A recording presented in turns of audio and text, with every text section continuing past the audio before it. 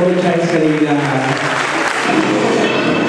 Ms. Villasan once again, thank you so much, UP College of Medicine for having me